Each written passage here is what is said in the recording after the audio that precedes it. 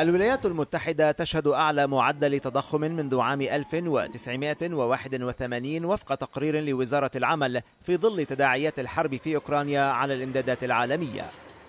فأسعار المواد الاستهلاكية ارتفعت حسب التقرير بنسبة 1.2% في شهر مارس على أساس شهري و8.5% على مدار 12 شهرا المنتهية في مارس.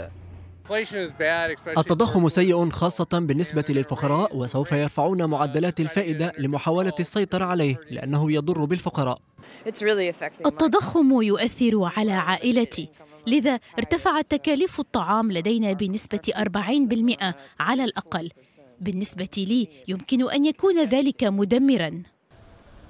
مؤشر البنزين وحده ارتفع بأكثر من 18% في مارس بعد ارتفاع 6.6% في فبراير وساهم بزيادة أسعار نصف المواد الباقية.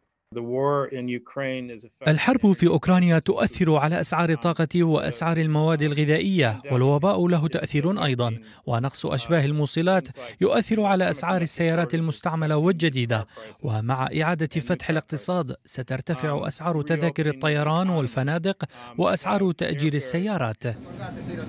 التضخم في الولايات المتحدة كان مرتفعا أصلا قبل الحرب في أوكرانيا بسبب تداعيات جائحة كورونا.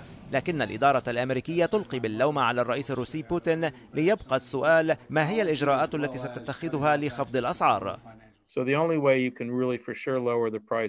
الطريقة الوحيدة التي يمكنك عبرها التأكد من خفض الأسعار هي تقليل الطلب ويمكن لمجلس الاحتياطي الفيدرالي فعل ذلك عن طريق رفع أسعار الفائدة ما يجعل شراء أشياء مثل السيارات والمنازل أكثر تكلفة.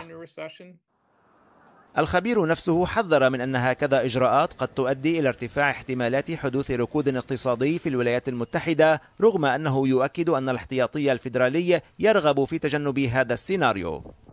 محللون أمريكيون يرون أن ارتفاع معدل التضخم الحالي هو نتيجة تزامن عوامل عدة في إشارة إلى الحرب الروسية الأوكرانية والجائحة لكنهم يتوقعون أن يبدأ المعدل في الانخفاض خلال الأشهر القادمة.